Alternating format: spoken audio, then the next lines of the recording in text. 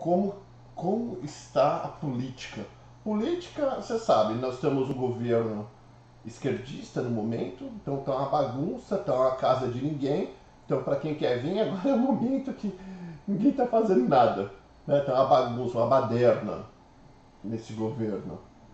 Porque é um governo daquele jeito, quase um comunismo que já está nos Estados Unidos. É claro que muita gente não vai gostar que eu estou falando isso, mas é a realidade.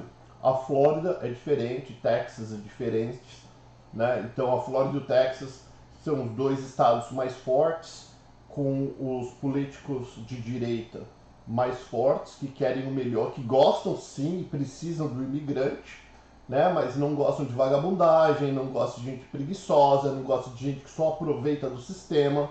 Né? Então, mas se você vem para cá, abre sua empresa, paga seus impostos, você com certeza é bem-vindo falando em, em política.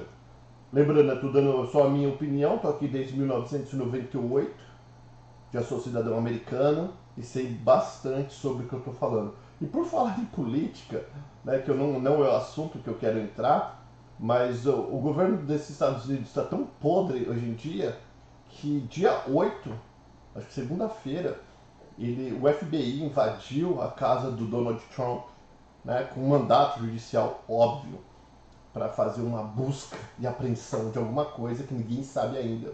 Mas resumindo, entraram na casa dele aqui na Flórida e fizeram uma baderna e ele está muito pé porque ele estava em Nova York no momento que isso aconteceu e sem saber o porquê, mas logo logo a gente vê na televisão e vão explicar o porquê fizeram isso.